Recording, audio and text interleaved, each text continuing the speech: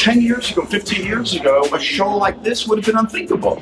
Galleries weren't having shows of comics, museums weren't, but incrementally things have changed. I'd like to think I've been doing my part almost my whole career. And here we are. This is a real, in a sense, triumph to even just be here in such a setting. Newburgh's Ann Street Gallery recently hosted Schumer, whose efforts to expand the definition of fine art are featured in the Comic Art Fantasy and Imagination exhibition through May 7th.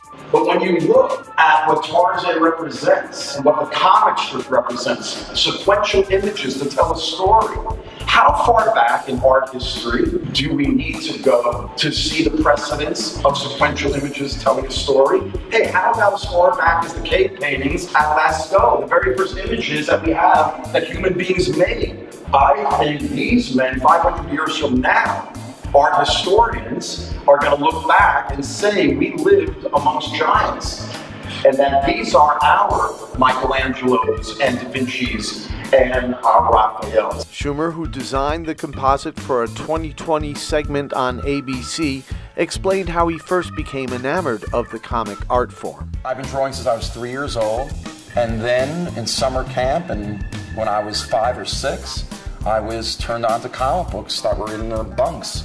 Uh, along with the Archies and Bettys and Veronicas, they were superheroes.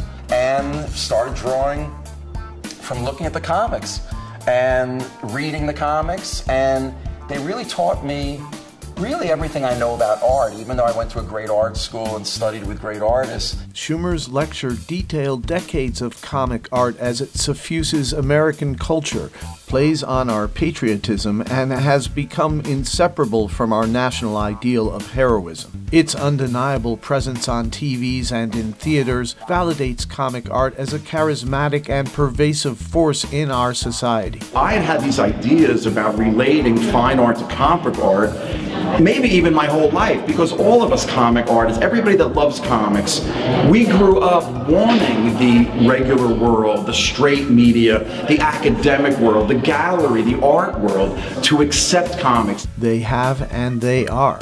Andy Warhol, R. Crumb, and Roy Lichtenstein have become iconic due largely to their indelible interpretations of commercial and cartoon art. And it's uh, based on two images. The background image is a beautiful Rubens painting, who I love, who actually is kind of like a superhero painter in himself.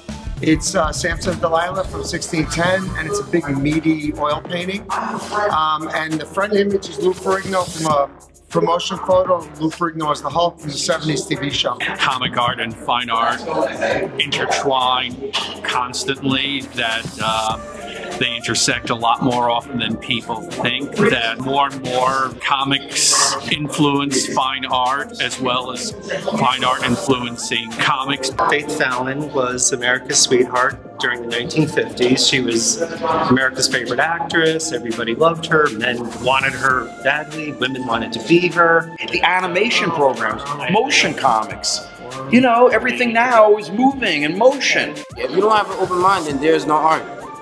If you have a closed mind, then you're not an artist. I'm not here to say comics are better than fine art, and I'm certainly not here to say fine art is better than comic art. I'm just here to create the conversation and to just say, you tell me what you think about this compare and contrast. Jay Berkey, HVNN.com.